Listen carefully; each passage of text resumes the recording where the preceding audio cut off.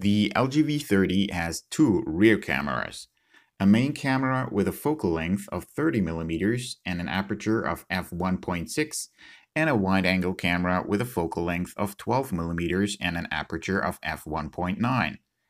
As their fields of view are quite different from each other, this gives you great flexibility to compose different shots for an edit without having to move around a lot. The wide angle is also particularly helpful when you are backed up against a wall and can't move back any further to get everything in the shot. You can switch between the two cameras by tapping the tree icons at the top of the UI. The icon with multiple trees activates the wide angle lens. You can switch between the two rear cameras even while recording. There are a couple of limitations to consider when using the wide angle camera though. First, there is a fixed focus, which means no auto or manual focus is available.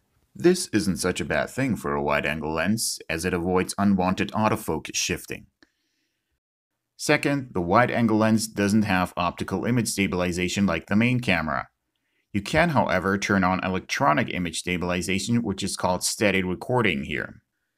Another option that's not available when using the wide-angle camera is the ability to shoot in log profile. You should also keep in mind that the aperture of the wide-angle lens is not as fast as on the main snapper. This means it's not as good in low light as it can be seen here. And the color temperature and dynamic range doesn't match that of the main rear camera 100%.